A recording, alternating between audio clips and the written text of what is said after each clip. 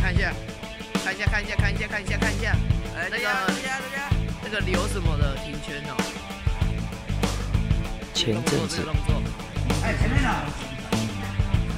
看同学上次比赛，那么活泼的样子，在比赛过程当中，非常专注的眼神，一刻都不得闲。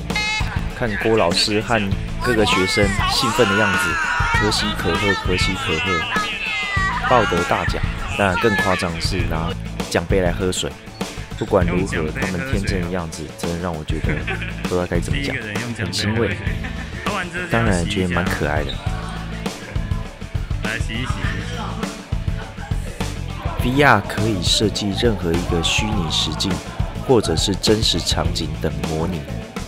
当然是为了设计新想法、新教育的模式，这样的教育也能帮助他们进行初次体验，也相当有趣。其实这样做，VR 教育的应用也可以更快辅助老师，能够提升学生学习上的速度。我认为，不论是科技如何新奇有趣，老师引导教学工具可能随着时代改变。让学习更快，激发更多人产生兴趣，产生更多学习上的互动。跟科技互动的时候，他们也比较有反应，在教育上比较开放的去接受新的科技，也很享受科技带给他们的惊喜。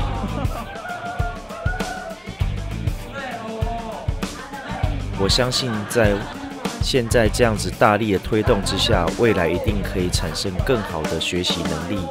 也感谢这一次郭立宏老师和视觉传达这一次的配合，希望学生都能够得到他们应该有的教学模式。由于科技日新月异。教学也一直在改变当中。这一次有大学生利用 3D 绘图 Unity 来实现虚拟实境教育方式。以上这些就是由我你们的特派记者 Ocean 北新国中为你们的报道。拜拜喽，下次见。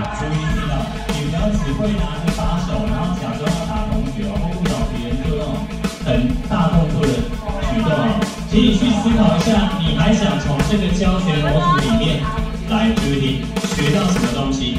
那未来这个情境你是可以自己建构的。我们接下来如果可以跟资讯课整合的话，你里面的这些情境好不好玩？在在台做玩，在里面玩好的，在外面的车店中都有这样子。